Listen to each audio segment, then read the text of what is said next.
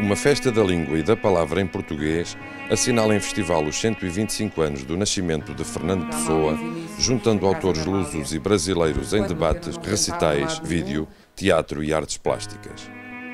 Trata-se do Festival do Desassossego, evento que decorre durante três dias na Casa Fernando Pessoa, em Campo de Orique, e bebe o nome naquela que será a mais vendida obra em prosa do poeta de inúmeras personalidades, o Livro do Desassossego. A organização conta com a parceria da Câmara Municipal de Lisboa e da Embaixada do Brasil em Portugal e assume este festival como um encontro de poesia luso-brasileira, durante a qual é lançada uma obra inédita que publica a correspondência amorosa completa mantida entre Pessoa e Ofélia Queiroz entre 1919 e 1935, ano da morte do poeta. O conselheiro da Embaixada do Brasil em Lisboa, Matias Vilhena, afirmou o orgulho da sua embaixada em apoiar o festival, salientando a participação conjunta de autores brasileiros e portugueses. Catarina Vaz Pinto, vereadora da Cultura da Câmara Municipal de Lisboa, enfatizou que estamos perante uma iniciativa de grande interesse para a divulgação da poesia e da prosa em português. Na Casa Fernando Pessoa, o Brasil, este intercâmbio entre o Brasil e Portugal sempre esteve presente.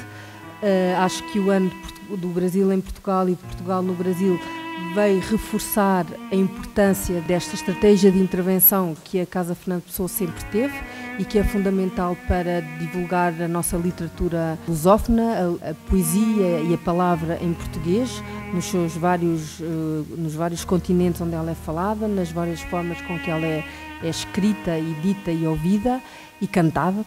Durante os três dias estão previstas exibições de filmes, recitais, debates e teatro.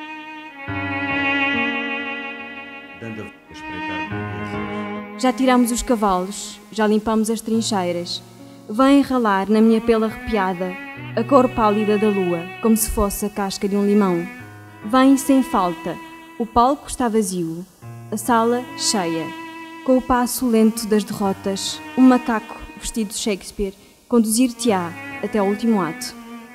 Guardar uma coisa não é escondê-la ou trancá-la. Em cofre não se guarda coisa alguma.